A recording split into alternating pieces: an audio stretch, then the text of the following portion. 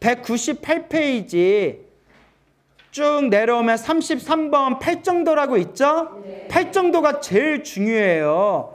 그래서 예전에 그 부처님의 경전에 보면 어떤 이가 부처님께 여쭈어요. 거룩하신 세존이시여. 다른 종교와 부처님의 가르침의 차이가 뭡니까? 어떤 가르침이 더 뛰어납니까? 다른 종교의 가르침과 하나하나 분석해서 법을 설해 주십시오 했더니 부처님께서 다른 종교에 대해서 이야기해 봤자 다른 가르침에 대해서 비교해 봤자 무슨 이익이 있겠느냐 하고 거절하시면서 대신 이렇게 얘기하십니다. 딱 이 이것만 기억해 둬라. 다른 가르침에는 팔 정도가 있다 없다. 팔 정도가 없다. 오직 붓다. 부처님의 가르침에만 뭐가 있다? 팔 정도가 있느니라 라는 내용이 나옵니다. 그래서 이 팔 정도가 굉장히 중요해요. 알겠죠? 팔 정도. 그래서 이제 팔 정도는 고진멸도라고 불러요. 뭐라 부른다? 고진멸도. 처음에 배웠나요? 고진멸도를 사성제라고 하잖아요. 그렇죠. 사성제 고진멸도에서 도자에 들어가는 게 팔정도예요. 무슨 도? 도, 팔정도. 잡으세요. 고진멸도니까 사성제. 네 가지의 성스러운 진리. 고, 고성제, 1단계 고성제. 이 모든, 이 윤회 세상은 모두 다 괴로움이다. 불만족이라는 거예요. 불만족의 괴로움이다. 이게 고성제예요. 고성제가 왜 중요하냐? 이 윤회 세상이 고통이라는 걸 인지해야 수행을 할 수가 있어요.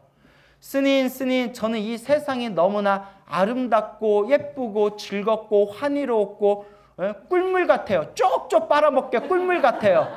이래버리면 윤회에서 벗어나겠다는 수행을 해야 안 해요? 안 해요. 그래서 일단 세상이 고통이라는 걸 있는 그대로 꿰뚫어 봐야 바로 그 수행의 경지로 나아갈 수가 있다는 거예요. 그래서 고성제가 중요하다는 거예요. 이 윤회의 세상은 무엇의 세상이다? 괴로움의 세상, 불만족의 세상이다. 그 다음에 집, 집은 모일집자라고 쓰는데 자 고통의 원인이 뭐냐? 집착이라는 거예요. 뭐다? 집착. 예, 그래서 여기서 모일집자, 모임의 원리라고 부르는데 쉽게 말하면 갈애라고 불러요. 뭐라 부른다? 갈애. 모든 고통의 원인은 집착이고 갈애다. 목마른 사람이 물을 구하는 애타는 마음을 갈애라고 해요. 우리가 생사윤회에서 끊임없이 갈애를 느끼고 있대요. 갈애를. 생사윤회에서 갈애를 느끼고 있는데 그 무엇에 대한 갈애냐? 욕망, 욕구에 대한 갈애예요. 사랑하고 싶고 돈 벌고 싶고 권력을 누리고 싶고 명예를 어, 이루고 싶고 이런 모든 이런 애타는 활활 그 갈증 나는 그런 애착에 물들어 있는 게 바로 갈애라는 거예요. 그래서 고성제 모든 것은 불만족 고통이다. 집성제 고통의 원인은 무엇이다? 집착이다. 갈래이다. 그러면 멸성제 고집 멸이잖아요. 따라해 보세요. 멸성제. 멸성제. 이제 소멸의 성스러운 진리예요. 소멸의 진리. 즉 집착이 소멸하면 무엇이 완전히 사라진다? 고통이 완전히 사라지고 무엇을 얻게 된다? 열반을 얻게 된다. 그게 멸성제예요. 집착이 소멸하면 고통이 사라지고 열반을 얻게 된다. 멸성제. 그러면 멸, 열반을 얻으려면 구체적으로 어떻게 도를 닦아야 되냐? 그게 뭘까요? 도성제. 그래서 고진멸도예요. 도성제. 팔정도. 알겠어요? 네. 몰라도 돼요. 왜 몰라도 될까요? 예, 자꾸 들으면 어떻게 된다? 예, 귀가 열립니다. 그러니까 자꾸 들으시면 그 얘기가 그 얘기예요. 알겠죠? 그동안 우리 몇 개월 동안 천태소지가 나면서 어, 그 말이 그 말이고 그 얘기가 그 얘기네 이런 게 조금씩 느껴져요? 안 느껴져요? 느껴져요. 느껴지면 뭐해? 실천을 해야지. 미안해요. 갱년기인가 봐요. 그래서 이제 팔정도 무슨 도? 네, 그래요. 느끼는 것만은 부족해요. 닦아야 돼요. 그럼 어떻게 닦아야 되냐? 팔정도 1. 아, 여기 팔정도에 보니까 열반에 열반은 니르바나 영원한 행복의 세계 예전 설명 다 들었죠? 열반의 바른 도를 구하기 위한 여덟 가지 성스러운 도. 수행 계위. 계위는 이제 계단. 어, 계단이란 뜻이에요. 계단, 단계. 수행의 단계 중에서 뭐에 해당한다? 수도. 수도가 완성되면 뭐가 된다? 오! 그렇, 글쎄 잊어먹었어요? 무학도. 음, 그래요. 그래서 1. 정견이라고 돼 있죠? 정견. 예, 바른 견해예요. 금방 사성제에 대해서 설명 들었죠? 고진멸도. 고진멸도를 바르게 이해하면 정견이고요. 고진멸도를 이해하지 못하고 있는 중생의 삶은 사견이래요. 그래서 어, 사성제, 인연, 인과법, 인과응보, 인연법, 선악, 인과, 인과응보, 과보를 바르게 아는 거. 이게 바로 뭐다? 정견이에요. 부처님의 바른 견해, 정견. 그러니까 우리가 정견을 얻으려면 죽으나 사나 무엇을 많이 배워야 돼요? 경전. 부처님의 경전에 입각해서 여러분의 머리, 여러분의 머리 수준으로 부처님의 경전을 이해하려 하면 돼야 안 돼요? 안 돼요. 여러분이 알고 있는 걸 내려놓고 부처님의 가르침을 온전히 받아들여야 돼요. 알겠습니까? 그래서 정견, 바른 견해. 그 다음에 두 번째 정사유 나오죠? 바르게 사유하는 거, 바른 사유, 바르게 생각하는 거예요. 바른 견해를 가지고 바르게 생, 생각하는 것. 바른 의지로 바르게 분별하고 혹은 사성제를 염하며 생각에 탐욕과 성냄이 없고 남에게 해악을 끼칠 생각이 없는 것. 한마디로 바른 생각이죠. 그렇죠? 바르게 생각하는 걸. 그걸 뭐라고 한다? 정사유. 3번 정어. 바르게 말하는 거. 그래서 진리만을 말하고 입으로 망어. 왜 망어라고 하죠? 보통 우리 천수경에 나오죠? 망어 중재 금일 참에 양설 중재 금일 참에 악구 중재 금일 참에 기어 중재 금일 참에 오늘 운전하다가 기어를 잘못 났어요. 기어 중재 금일 참인가요? 어 아니겠죠. 망어는 거짓말하는 거. 양설은 어, 여기저기 이간질하는 거. 악구는 악한 말, 욕설하는 거. 자, 기어. 기어는 이제 비단결 같이 아첨하는 말. 예, 그걸 기어라고 합니다. 알겠죠? 음, 비단 기자를 써서 비단기 속이는 말, 아첨하는 말. 자, 바른 말로 진리만을 말하고 입으로 짓는 모든 구업을 떠나는 거. 근데 우리는 어쩔 수 없이 구업을 많이 짓죠? 그래서 구업을 녹이려면 염불을 많이 해야 돼. 뭘 많이 해야 된다? 예. 내가 염불할 때마다 입안에서 광명이 나와서 내 구업을 녹인다. 이렇게 생각하시면 좋아요. 알겠습니까? 항상 나무아미타불, 나무아미타불. 정업. 업이라는 것은 이제 어떤 구체적인 예, 구체적인 자기가 몸과 말과 생각으로 짓는 것들을 언행을 업이라고 해요. 알겠죠? 그래서 바른 업으로서 바른 몸으로 짓는 업, 마음으로 짓는 업, 생각으로 짓는 업. 이걸 무슨 업이라고 한다고 했죠? 삼업이라고 했죠. 몸으로 짓고 말로 짓고 생각으로 짓는 모든 업에 대해서 어, 그 잘못된 업을 짓지 않는 것을 정업이라고 합니다. 그런데 몸과 말과 생각 삼업으로 짓는데 삼업으로 짓는데 생각으로 짓는 업은 정경과 정사유에서 이미 해결이 됐죠. 바른 견해 바르게 생각하라. 그러니까 무엇으로 짓는 업을 잘 다스리는 거예요?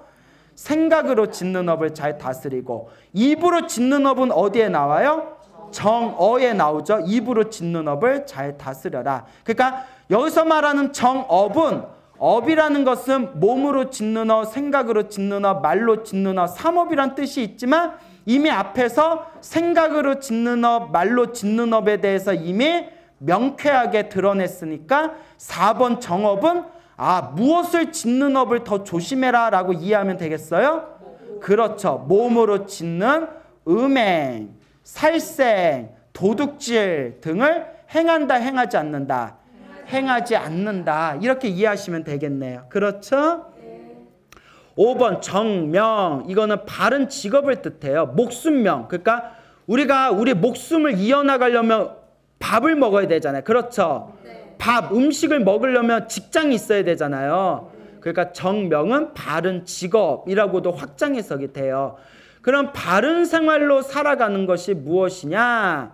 우리 예전에 앞에서 네 가지 뭐 위로는 천문을 보지 말고 점술 치지 말고 어, 풍수지를 보지 말고 그 다음에 뭐 어, 신하가 되어 가지고 아첨하면서 음식을 구하지 말고 우리 앞에서 그 배운 적인데 기억나세요? 네. 예. 그래서 여법하게 법답게 살아가면서 직장 생활을 하는 것을 정명이라 부르고 스님들의 한해서는 이건 스님들의 한해서는 바른 생활로 주술 등 주문이나 무슨 점치는 삿된 생활로 먹고 사는 걸 버리고 여법하게 법에 맞게 수행에 필요한 것을 신도들의 도움을 통해서 옷과 음식과 와구 와구는 이제 이부자리를 뜻해요. 와구 누울 와자 누워서 잠잘 수 있는 도구 탕약 몸이 아플 때 먹는 약 탕약 등의 생활 도구를 여법하게 구한다. 이게 정명입니다. 알겠습니까? 근데 이제 제가자 입장에서 말하면 아무리 잘 먹고 잘 살아도 마약 밀매하면서 직장을 마약 밀매를 하면서 잘 먹고 잘 산다면 정면이라고 할 수 있다 없다? 없어요. 인신매매를 하면서 하면 잘할 수 있다 없다? 없어요. 또 뭐, 뭐가 있을까? 음, 하여튼 보이스피싱. 야. 그래서 어떻게 해요? 보이스피싱이 나왔지? 누가 그랬어요? 어, 당해봤어요? 보이스피싱으로 먹고 살면 된다 안 된다? 지금은 잘 먹고 잘 사는 것 같죠? 다음 생에 그 업을 어떡할 거야? 다음 생에 그 업을 어떡할 거야? 그래서 저는 이번 생에 나무 아미탑을 연보를 열심히 해요. 다음 생에 우리가 어떻게 될지 몰라요. 무슨 말인지 알죠? 항상 다음 생에 내가 어떤 몸을 받을지 항상 두려워하면서 살아야 됩니다. 알겠습니까?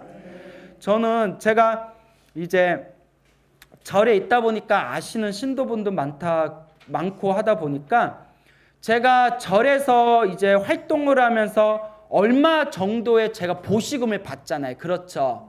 나름의 이제 어 이제 품위 유지비를 받게 되는데 스님들이 받는 품위 유지비가 교통비니 품위 유지비니 이런 것들이 다 누가 낸 돈이겠어요? 신도들이 낸 돈이고 또 저는 또 주변에서 어, 또 몇몇 신도분들이 저한테 따로 개인적으로 보시하시는 분도 있고 약 같은 거 저 귀한 정말 비싼 약 같은 거 저한테 선물하시는 분들도 있고 또 오늘 같은 날에는 내가 좋아하는 저 군고구마도 누가 갖다 놨고 음? 그러니까 우리 불교에서는 이런 얘기가 있어요. 이번 생에 깨달음으로 깨달음으로 이 시주의 은혜를 갚지 못하면 한 방울의 물도 소화하기 힘들다. 어 그럼 나 어떡해? 나 밥도 두 그릇씩 먹는데. 그러니까 너무 양심에 찔리는 거예요. 솔직히 말하면. 나 착하죠? 진짜 양심에 막 찔리는 거예요. 그래서 저는 도저히 내가 양심에 찔려서 제가 매일 독병을 애보란다? 요새 시간이 짧아가지고 많이 하지 못하는데 항상 제가 매일 하는 독병이 아미타경하고 반야심경을 항상 매일 읽어요. 두번 읽을 때도 있고 세 번 읽을 때도 있고 반야심경도 항상 수시로 읽고 왜, 왜 그러냐면 아미타경 반야심경이 뭐 제일 좋아서라기보다는 일단 아미타경은 제가 정토행자거든요. 나무 아미탑을 정토행자기 때문에 아미타경은 그냥 필수로 외우고 반야심경을 외우는 게 짧아서 아니 바빠 죽겠니까 뭐 1시간, 2시간, 3시간씩 독병할 시간이 없거든요. 나 바빠. 내가 한가해 보여? 그래서 음? 나 갱년기야? 그래서 아미타경하고 반야심경은 무조건 기본으로 독병을 하는데 독병하고 나서 항상 발언을 해요. 불보살님 분명히 부처님 가르침에 대승경전을 외우면 대승경전을 독송하면 반드시 공덕이 있다고 했습니다. 이 말이 사실이라면 저에게 지금 대승경전을 독송해서 한 방울 물 한 방울만큼의 공덕이라도 생겼다면 이 모든 공덕을 저에게 시주하신 모든 분들에게 다 돌리겠습니다. 그래야 네. 나 예뻐? 어. 괜찮아? 네. 그래서 그리고 하나 더해요. 그리고 제가 시주들에게 시주자들에게 이 공덕을 회양해서 그 공덕을 회양한 그 좋은 마음으로 또 공덕이 생기면 그 공덕까지도 모조리 일체 중생에게 회양하겠습니다. 그렇게 나 정말 예뻐? 네. 근데 여러분 자랑하려고 하는 게 아니라 여러분 오해하지 마세요. 진짜 자랑하려는 게 아니라 그만큼 다음 생이 내가 무서워서 그래요. 무슨 말인지 알겠죠? 네. 여러분들 바깥 사람들 돈 5만 원, 나 아시는 분도 택배 하시는데 돈 5만 원 벌려면 피땀 흘려요. 근데 스님들은 앉아서 신도들한테 막 5만 원, 10만 원 그렇게 막 보시하시고 뭐 이런 분들한테 내가 너무 미안한 거예요. 그래서 아, 참 밖으로는 불자들에게 미안하고 안으로는 내 자신이 이러다가 죽어서 다음 생에 이 빚을 다 못 갚으면 어떡하나 해가지고 이렇게라도 해야 내 마음이 좀 편안하더라고요. 무슨 말인지 알겠습니까? 네. 그래서 우리가 항상 여러분들도 내가 다음 생에 과연 어떤 몸을 받을 것인가 항상 무서운 마음을 가지고 계셔야 됩니다. 알겠죠? 네. 그래서 열심히 연불합시다. 네. 음. 정정진이라고 돼 있죠? 음, 정정진. 바른 노력이니 바르게 정진하는 거. 바른 노력이니 이미 생긴 악을 없애고 이미 생기지 않은 악은 나지 않게 하며 아직 생기지 않은 선은 생기게 하고 이미 생긴 선은 더욱 증장하니 이는 능의 방편으로 정진한다. 그러니까 꾸준하게 정진하라는 거야. 알겠죠? 악업은 소멸하고 선업은 늘려나가면서 꾸준하게 정진해라. 그런 뜻이 되겠습니다. 정염이라고 돼 있죠? 정염. 바른 기억이니 바른 기억. 근데 기억이라고 안 하고 염을 뭐라고 보통 표현한다고 했어요? 싸띠, 알아차림. 싸띠, 바르게 알아차린다. 무엇을 바르게 알아차린다? 옆에 답이 나오네요. 신, 수, 심, 법. 4년처를 포함하고 있는 거예요. 우리 4년차 안에 아까 배웠죠? 저번 시간에 4년차 배웠죠? 몸을 알아차리고, 느낌을 알아차리고, 마음을 알아차리고, 존재, 그 자체를 알아차리는 거. 그래서 무상, 무화를 증득하는 거. 여러분, 우리 이거 강의 끝나면 우리 나무 아미타불 연불 명상한 뒤에 우리 알아차림 호흡 명상 하잖아요. 그때 이거 우리 다 하고 있는 거예요. 느껴지세요? 예, 우리 다 하고 있는 겁니다. 몸을 알아차리고 느낌을 알아차리고 마음을 알아차리면서 그것을 집착하지 않고 들이쉬고 내쉬고 있는 그대로 바라보는 거. 우리 다 하고 있죠? 그 다음에 마지막이 뭘까요? 전정.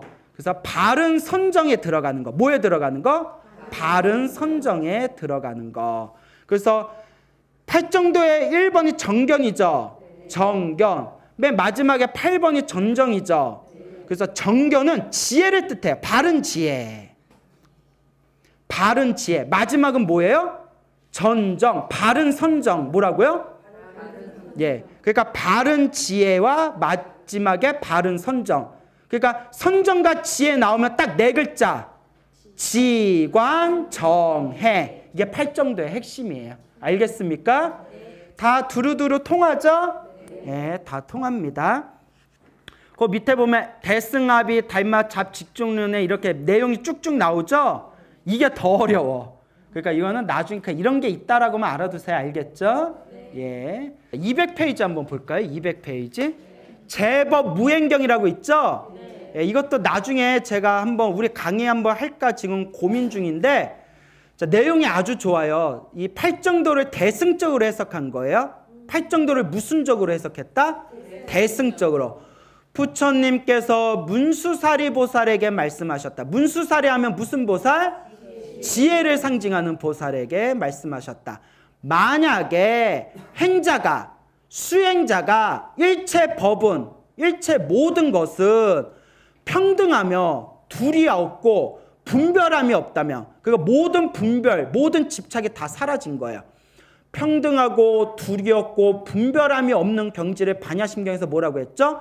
불생, 불멸, 불구, 부정, 부중, 불감이라고 모든 거 일체법을 바라보면 이렇게 보는 까닭으로 뭐라고 부르게 된다? 그걸 정견이라고 부르는 거예요.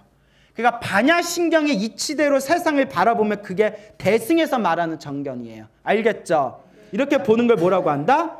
정견. 집착함이 없이 세상을 볼 수 있는 거예요. 일체법 일체가 모든이란 뜻이고 법은 모, 존재라는 뜻을 해석하면 돼요. 모든 존재에 대해서 생각이 없고 여기서 생각이 없다는 건 망상이 없다는 거예요. 야, 너 어떻게 아무 생각도 없고 개념도 없냐? 이 뜻이 아니에요. 망상이 없다. 망상이 없고 뭐가 없, 없다? 분별함이 없으면 이것이다 저것이다 따지고 분별함이 없으면 이렇게 생, 망상 허망한 생각이 없고 분별함이 없는 것을 무슨 사유라고 부른다? 정사유. 바르게 생각한다라고 부른다. 알겠죠? 모든 법이 언설이 없는 모양을 보며 언어가 평등한 모양을 잘 닦는 까닭에 이를 정어한다. 쉽게 말하면 일체 모든 존재는 이 언어라는 게 언어로서 다 표현할 수 있다 없다. 그래서 그래서 모든 존재에 대해서 말을 떠난 거 무엇을 떠난 거? 말을 떠난 거 언어를 떠난 게 진짜 바른 말이라는 거예요. 여러 그래서 이런 말이 있어요. 노자에 보면 도를 도라 하면 그건 진정한 도가 아니다. 무슨 말인지 알겠어요? 여러분 막 미친 듯이 미치도록 사랑해 본 적 있어요? 없어요? 있어요? 어 이때 어떻게 네? 남편인가요? 미친 대로 사랑해 봤을 때 너무 사람이 사랑스럽고 좋으면 사랑한다는 말을 해도 말로써 표현이 돼야 안 돼요. 어 그건 알아요? 예. 이와 같이 모든 존재는 말로써 다 표현할 수 있다 없다. 말을 떠난 자리를 뭐라고 한다? 정어라고 하는 거예요. 알겠습니까? 그러니까 그런 게 있다고만 알아두세요. 듣다 보면 귀가 트여요. 일체법. 모든 법에 짓지 아니하는 모양을 보면 짓는 자가 불가득이기 때문에 정업이라 한다. 말 참 어렵게 했죠? 그러니까 어, 그냥 시간이 없으니까 쉽게 쉽게 설명할게. 그냥 모든 존재가 모든 존재에 우리가 무언가를 지으면서 살아가잖아요. 그렇죠? 밥도 뭐 선업도 짓고 악업도 짓고 밥도 먹고 잠도 자고 이런 행위를 하잖아요. 맞습니까? 근데 그런 행위를 하는 존재에 고정된 실체가 있다 없다. 고정된 실체가 없다는 거예요. 이거 우리 앞에서 이미 배웠잖아요. 그렇죠? 내가 밥을 먹고 내가 잠을 자고 내가 말을 하면서 떠들어도 그 속에 고정된 실체가 있다 없다. 고정된 실체가 없다. 그래서 그런 고정된 실체가 없기 때문에 불가득이라고 하는 거예요. 뭐라고 한다? 불가득. 얻을 수가 없다. 얻을 수가 없는 그 자리, 얻을 수가 없는 분별이 없는 그 자리를 뭐라고 부른다? 정업이라고 부른다. 그리고 우리는 수행이 짧을 때는 바른 거다, 삿된 거다를 분별하지 아니하고 평등한 생활을 잘 수습하는 까닭에 우리가 우리가 아직 수행이 부족하면 이게 맞다, 저게 틀리다, 이게 옳은 것이다, 저거는 삿된 것이다. 끊임없이 분별을 해요. 완전한 깨달음을 얻어서 이것이다, 저것이다라는 분별이 떠나고 항상 마음이 평등하고 자비롭다면 그걸 진짜 뭐라고 부른다? 정명이라고 부른다는 거예요. 여러분 이렇게 읽어보니까 제법 무행경에서 부처님이 문수사리 보살에게 이야기하고 있는 팔정도의 키포인트가 뭔 것 같아요? 그렇죠. 요 답을 내견. 무집착이에요. 무집착. 무분별, 무집착. 옆에다 적어주세요.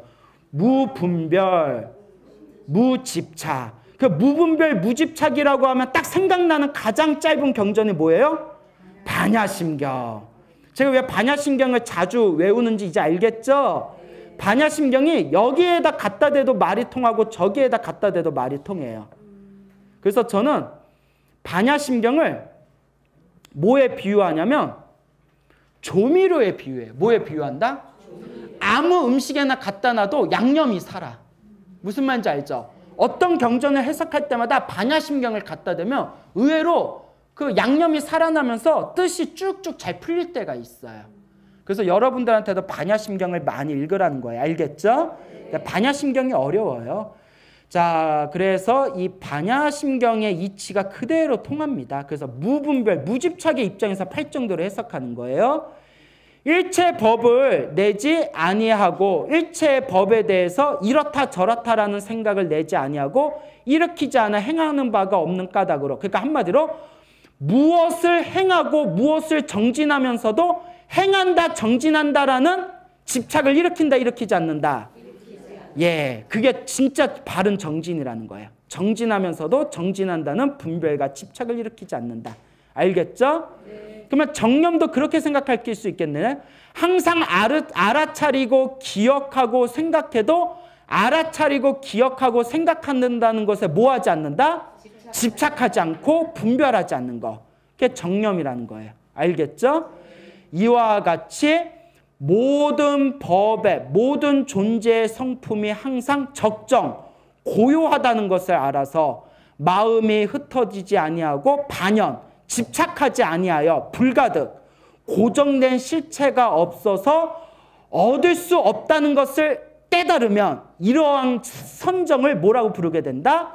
정정, 바른 선정이라고 한다. 라고 이해를 하시면 되겠습니다. 알겠죠?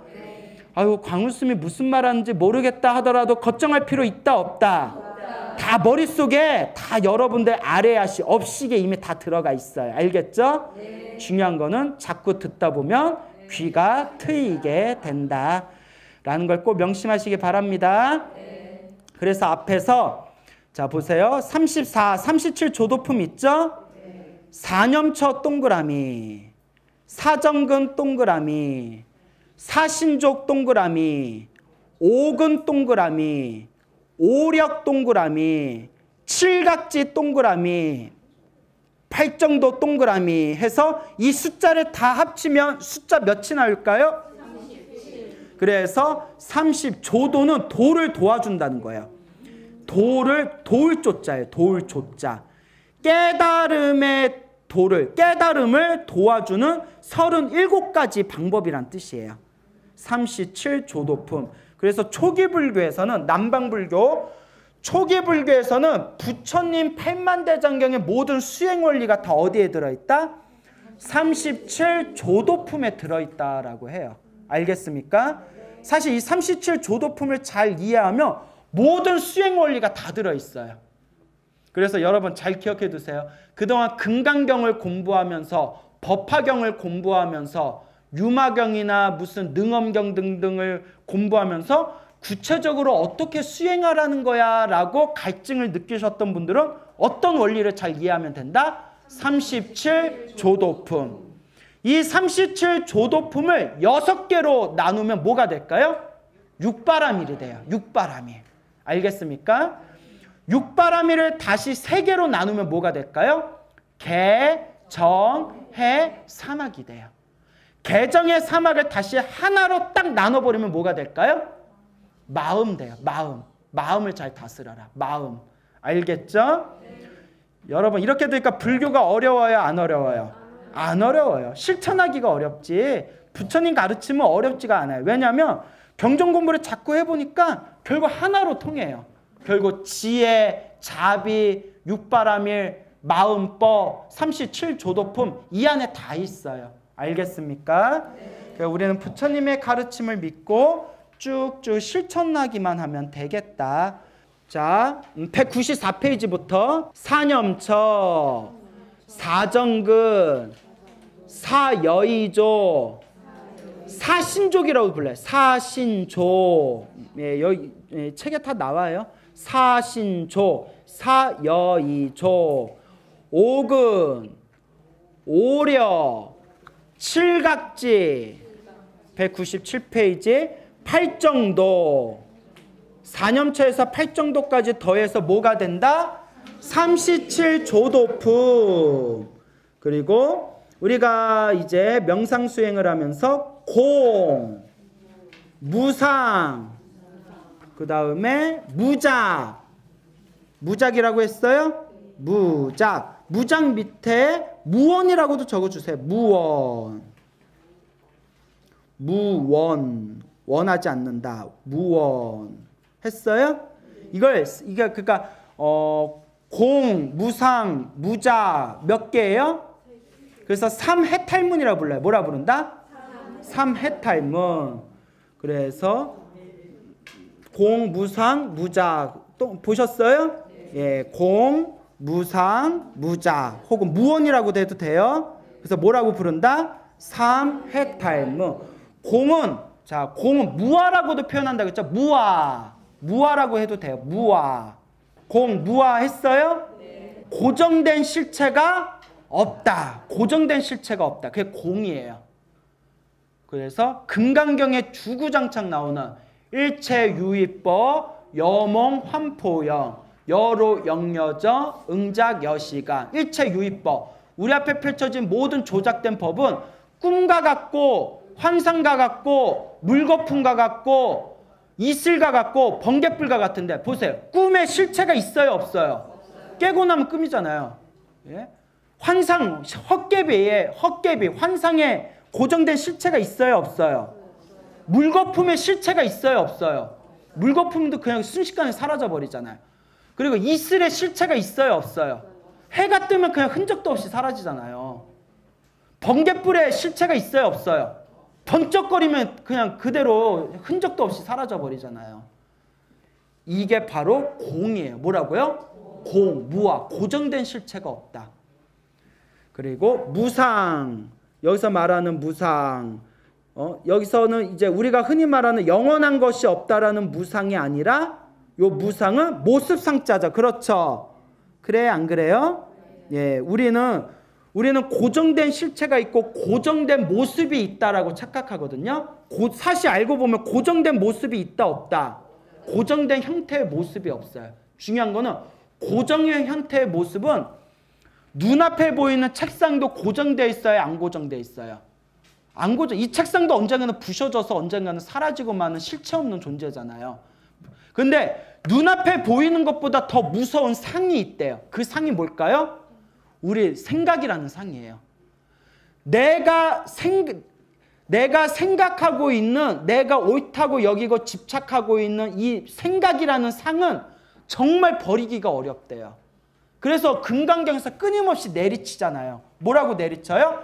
아상, 인상, 중생상, 수자상을 다 내려놓아라. 다 버려라. 라고 끊임없이 얘기하잖아요.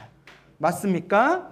예, 그래서 요 상자가 음, 이 모양 상자가 밑에다 마음 심자를 두면 생각 상자로도 변해. 알겠죠? 근데 이제 한문으로 번역할 때 어, 금강경 번역하신 들마다 요 상자를 지금 우리가 보고 있는 모양 상자로 번역하신 분도 있고 생각 상자 구마라집 같은 분은 생각 상자로도 번역했고 그런 거는 이제 우리가 그때 그때 파악하면서 보면 됩니다. 알겠죠? 예.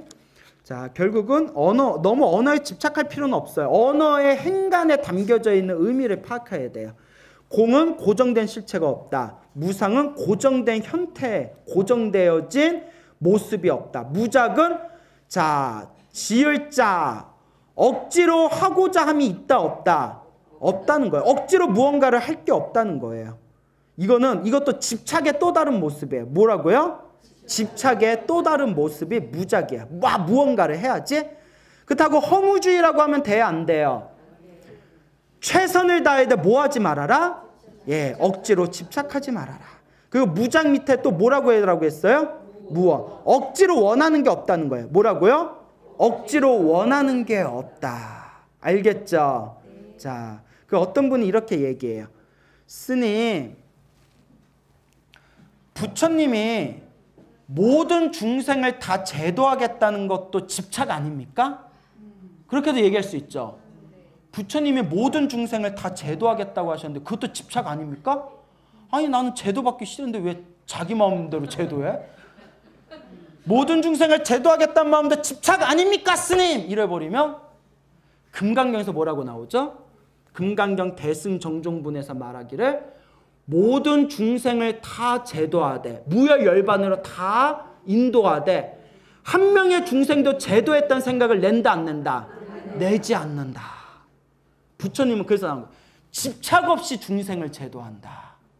스님 집착 없이 어떻게 중생을 제도합니까? 네가 그 경지를 어떻게 알겠냐? 무슨 말인지 알겠죠? 네가 그 경지를 어떻게 알겠냐? 그러니까 중국에 120살을 사신 조주라는 당나라 때 조주라는 큰 스님이 계셨어요. 조주라는 그냥 중국 선종 역사상 최고의 큰 스님이 계셨는데 야 이분이 참 대단하세요. 어느 선비가 와요. 선비 유교 공부를 하던 선비가 오더니 스님 스님 부처는 부처님은 중생이 원하는 건 다 퍼주신다는데 사실입니까? 사실이느니라. 스님의 그 지팡이를 저에게 주십시오. 이랬대요. 어 그거 이거 어 공부 좀 했어 얘가.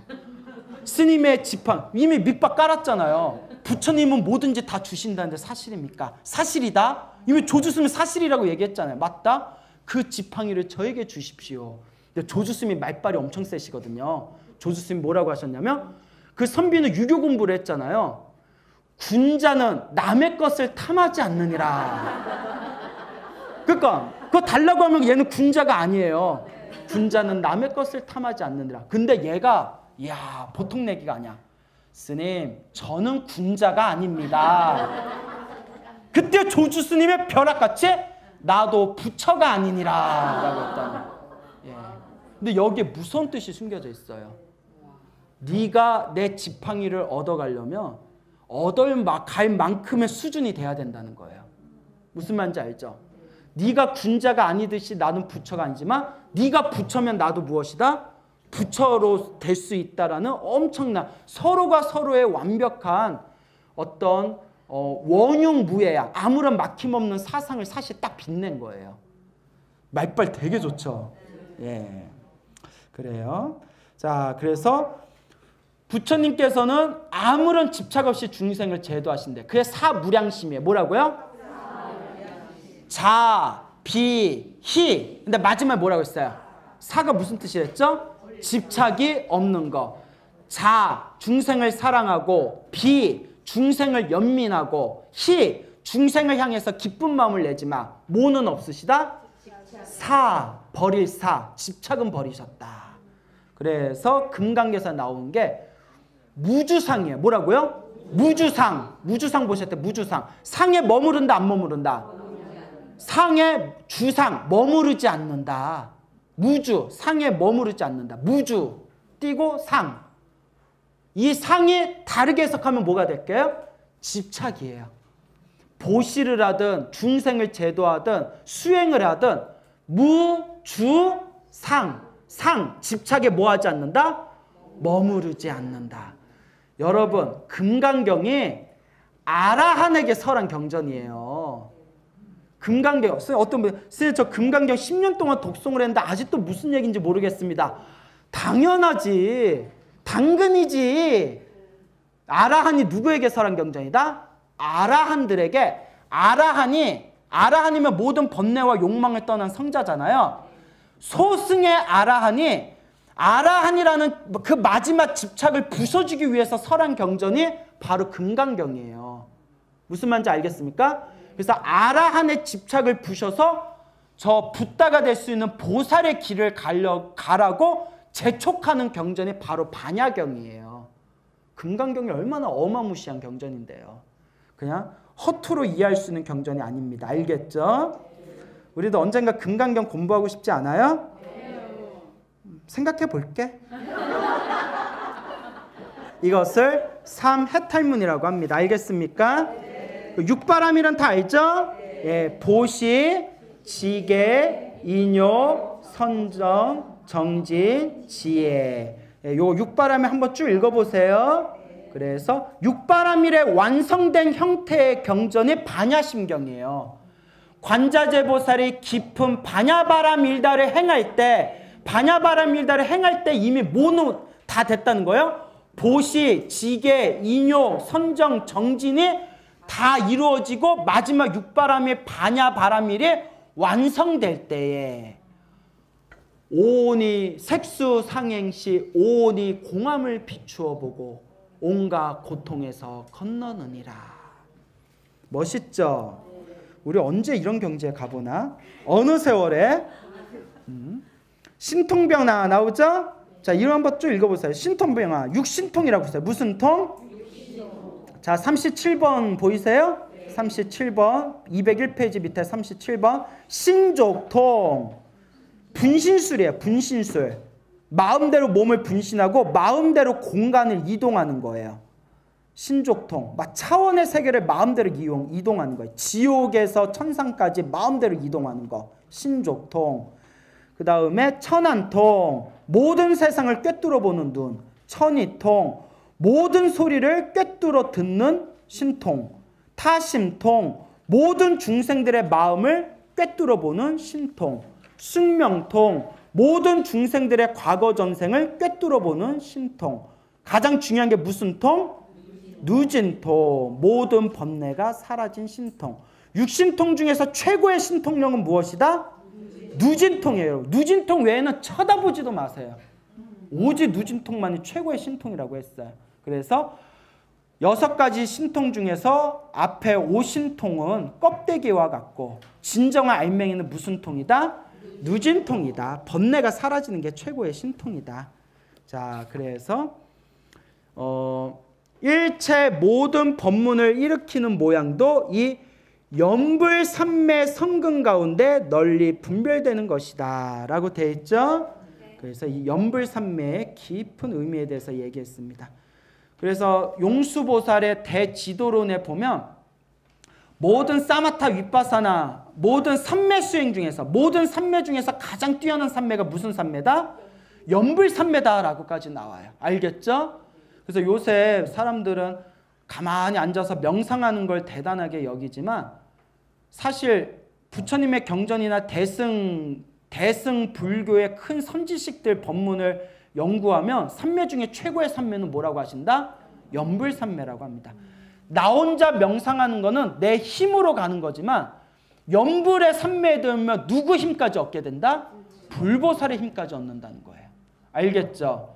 혼자 명상을 해서 수행하는 거는 바닷가를 건너는데 뗏목에 노를 저어서 가는 거예요. 팔 겁나 아파. 예? 팔에 알 배겨. 그런데 염불을 해서 불보살의 가피를 받아서 삼매를 이루는 이 수행은 마치 돛단배에 순풍이 불어서 노를 저을 필요도 없이 쭉 바다를 가로질르는 것과 같다라고 했습니다. 그러니까 이래나 저래나 항상 입에서 무엇을 놓치지 말아라? 연부를 놓치지 말아라. 죽는 그 순간에 여러분 죽는 그 순간에 호흡이 끊길 때 순이야 철수야 영이야 엄마 좀 살려다오 엄마 좀 살려다오 나 이대로 못 죽는다 영이야 일로 와봐라 귀 좀 대봐라 내가 네 외삼촌한테 빌려준 돈이 있는데 너 그거 꼭 받아야 된다 이러면서 이제 죽으면 이거 평생 헛수행한 거 알겠죠? 다 내려놓고 죽는 그 순간에 무엇을 놓치면 안 된다? 연부를 놓치면 안 된다. 알겠죠? 음. 불유교경에서 말씀하셨다. 마음을 한 곳으로 제어하면 밝혀지지 않는 일이 없을 것이다. 마음을 하나로 통일하면 이루지 못할 것이 없을 것이다. 마음을 다스리는 것이 불법의 핵심이다라고 꼭 기억해 두시길 바랍니다. 알겠죠? 제 오늘 여기서 마치겠습니다.